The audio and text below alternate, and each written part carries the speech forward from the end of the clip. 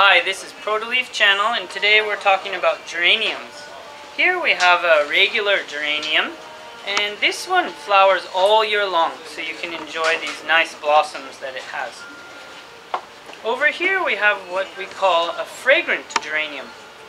This plant only flowers in the spring but it's called a fragrant geranium because it has a really strong wonderful smell to it.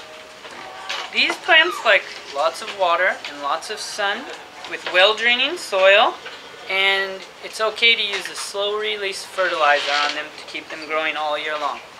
Thank you very much.